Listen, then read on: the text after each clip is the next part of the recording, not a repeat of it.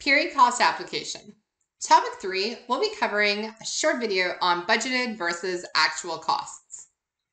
I mentioned previously that most likely uh, they'll be using budgeted costs, but I really want to talk about why and some trade-offs between the two.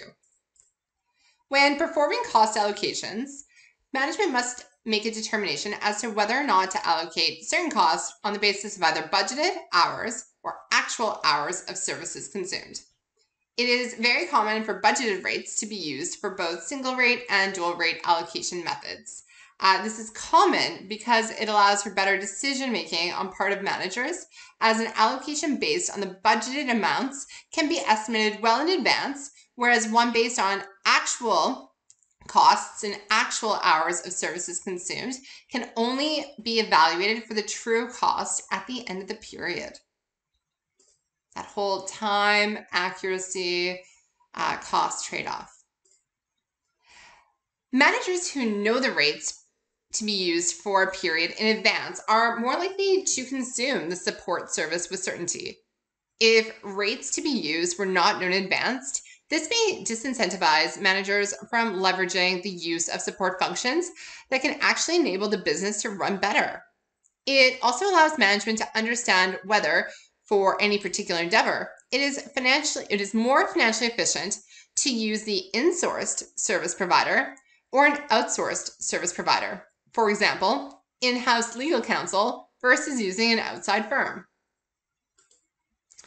The use of budgeted rates in cost allocation also creates incentives for managers to improve efficiency.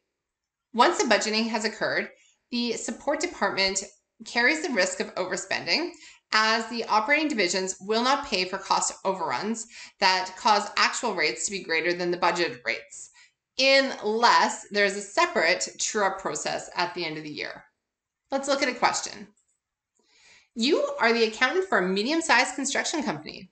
The CEO approaches you and complains that the IT department has been costing significantly more than anticipated, and it's getting costlier each year, even though the company isn't really growing. He believes the cost, he believes the cause of the cost increase is related to the method of cost allocation. Without knowing any other facts, the most likely cause of this continuous increase in cost is is it A, the allocation of IT costs to the support units is based on budgeted costs.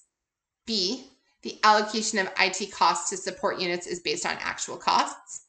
C, the managers of the operating division aren't well trained enough in IT. Or D, the IT department is overstating how much work they do. The answer is B.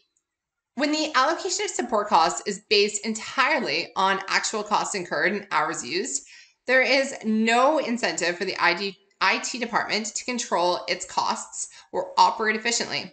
It can simply operate as inefficiently as possible and pass the effects of these costs on to the operating divisions. All right. Thank you, and I will see you in the next video.